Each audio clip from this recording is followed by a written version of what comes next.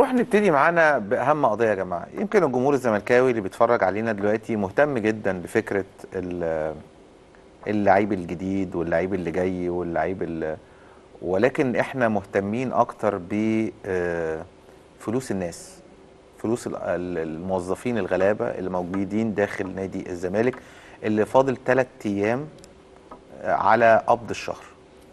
وأنتوا عارفين كمان يا جماعة إن مستر فيريرا اللي عمل طفرة كبيرة في التدريب في مصر بيتقاضى أجره من خلال تحويل بنكي آه، بالدولار. وبالتالي أيضا لن يستطيع نادي الزمالك إنه يدفع راتب مستر فيريرا بعد ثلاث أيام وده هيبتدي يعمل مشاكل داخل نادي الزمالك. بجانب أيضا العمال الغلابة اللي بينتظروا بفارغ الصبر بداية كل شهر عشان اللي عليه ديون بيسددها اللي عليه فلوس بيدفعها اللي عنده بيت عنده أسرة خصوصا في الشهور اللي إحنا فيها دي دي بداية المدارس يا جماعة وبداية الجامعات ودي شهور صعبة جدا على الأسر المصرية. وبالتالي لابد أن يكون هناك حل في موضوع الحجز على النادي لأن كل حاجة بتتوقف.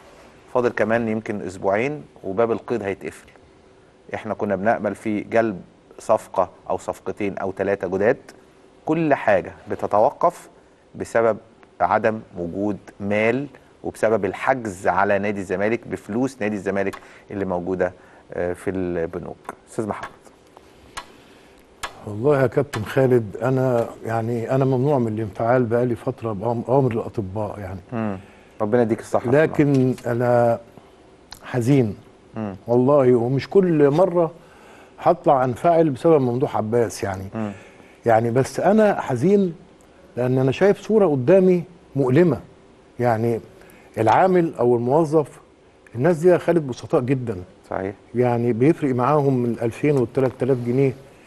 حرام. النهارده كانوا هيقبضوا بكرة 28 دايما كان بيقبض يوم 28 لما القبض يتأخر يبقى يوم واحد في الشهر. مم. يعني ممكن يأخر مثلا آه، ال- آه، أي حد يكون مرتبه كبير شوية يعني فوق ال 10000 ولا ال 5000 بي- ممكن يوم واحد في الشهر. إنما ال 2000 وال 3000 اللي هم تلات أكتر من 4000 عامل وموظف دول يوم 28 بيقبضوا. وبعدين لا تنسى إن المستشار مين عمل في أندية مصر كلها؟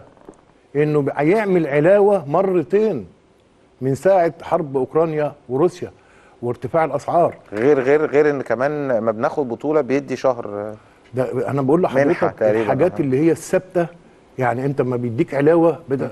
هي بتكبر مرتبك الشهر. الجاي بت... 200 جنيه زادوا 400 جنيه زادوا. آه. فالناس بتبقى مرتبة نفسها على كده يا خالد. وإحنا كلنا كنا زمان من أسر متوسطة وعارفين إن البيت بيترتب على مبلغ بيجي أول الشهر. صحيح. ف آه، يعني أنا حزين جدا لأن ممدوح عباس النهارده بيتزعم حزب أعداء النجاح. النهارده آه، يعني أنا فاكر من من 20 سنة كان حد ناجح جدا في مصر.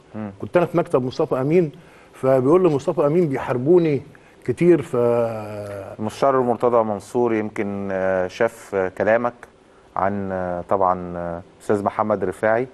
كابتن فأنا آه حبينا برضو نوري للناس إن برضو المستشار مرتضى منصور كرمه. كرمه وهو عايش وده أيوة. حديقة الكابتن محمد رفاعي وهو عايش. يعني الحديقة دي يا جماعة مش ال- مش اليافطة دي اتحطت بعد موته. لا، لا دي كانت معمولة. متواجدة آه، آه، أثناء حياته. زي نجوم وكان ليه معاش شهري معاش شهري بيتقاضاه. آه. وابن الكابتن رفاعي كمان بيشتغل بيعمل في قطاع الناشئين داخل نادي الزمالك. هو ده نادي الزمالك. معلش أنا آسف ان أنا لا لا طبعا. طبعا. أنا شفت كمان عمر النور لما كان بيجي النادي يعني يمكن الجيل الحالي ده هو كمان اللي فاضل لنا كمان. آه، يعني قلت. كابتن أبو رجيلة كابتن عمر نور ده دمه خفيف لسه شايفه جدا جدا. قريب. آه. وابنه كمان على فكرة كان بيعمل في نادي الزمالك. أيوه أيوه. أنا شفته من سنتين مستشار كان يعني عامل له برضه حاجات لأن عمر كانت ظروفه. فالجيل اللي موجود ما يعرفش مين عمر النور يعني ما شافش عمر والاجيال دي ما النور خدتش فلوس خالص. ها؟ عمر الاجيال دي النور ما خدتش فلوس خالص. والله العظيم كان عقدة الأهلي كان عمر النور يا, يا كابتن خالد.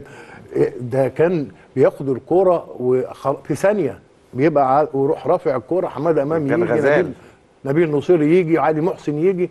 لا الناس دي ما يعني فالمستشار مرتضى الوفاء وأنا قلت قبل كده لحن الوفاء أنا ما بقولش كلمة و وبقى مش مدرك معناها. أنا شغلتي 50 سنة كل- في الكلمة. يعني اشتغلت حياتي كلها بتعتمد على الكلمة. صحيح. فلما قلت مرتضى منصور لحن الوفاء أنا ما كنتش بهرج ولا بهزر.